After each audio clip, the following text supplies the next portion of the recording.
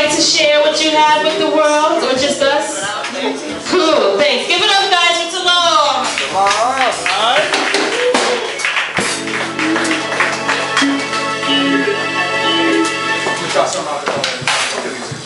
How y'all doing? What if this is God's work? Wow. What if, what if real poets walk the earth and live lives fit for prophets, birth spreading ancient wisdom like the Coptic Church, and those that know what they're hearing know that they're hearing something special. And perhaps eventually a poet will be sent here just to bless you. Test you in this world of lies, and you feel your eyes crowded because they recognize it. What they're seeing is the truth.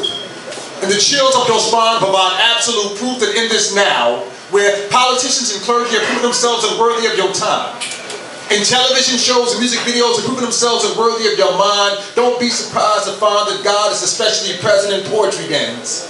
Guiding poets' pens and not just those men who pretend to be closer to God than you by making you ashamed of your sins when the lives they've lived may not have been what God intends for your salvation.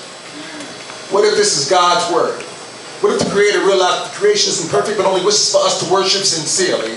To, to not be hypocrites but to really be concerned about our fellow men? To stand up against injustices falsely perpetuated in God's name in foreign lands? What if this is God's work? What if the poets are closer to Muhammad, Buddha, and Jesus than the preachers? I said, what if the poets are closer to Muhammad, Buddha, and Jesus than the preachers? I mean, think about it, y'all. Which of living closer to the streets, and which of living closer to seas, huh? Which of living high up in the hall, and which of the poor righteous teachers? What if this is God's work? And if so, then poetry is sacred. So ye poets to be concerned, just step up on this stage with it, be on your job, because if this is God's work, then stealing from the poet is the same thing as stealing from God. Awesome. Awesome. It's not about your use of sexuality or profanity. It's about whether you use your tools for odds and oohs, uh, whether you use your tools to improve humanity. What if this is God's work? None of blasphemous have hell to pay, so I wouldn't say anything at the coffee cave tonight that I wouldn't be comfortable repeating on Judgment Day. What if this is God's work, y'all? Let us pray. Blasted out of my sleep 6 o'clock in the morning. Some maniac outside, letting on his car horn. Got to go outside and teach him the proper etiquette. Neighborhood bad enough, can't let it get worse than it already is. You hear me? Y'all can talk back. Oh yeah, oh yeah. I need my sleep. That's the only time on this planet that I ever get any peace. I tried that college thing on some American dream tip, yet I still live on the same street that I grew up on. Them same streets that I grew up on. My mother hoped that I would surpass at least in middle class, But yet I'm still stuck on that same mentality. And, and all those years of college ain't even challenged me. But when I graduated, life was right there to put a degree in my hands and a foot on my chest. And here I am dressed in my pajamas, no slippers, about to run outside and rip the backbone out this school. Ain't got nothing to show for all those years of school, but bad credit and even worse, decisions. And I live in a neighborhood where people buy food on credit so they finance it. They don't just take it. They're making payments on food that they already ate. When they see me on the street, they looking at me like they're about to break. And I'm snatching over this door like I'm about to break. And I see my best friend.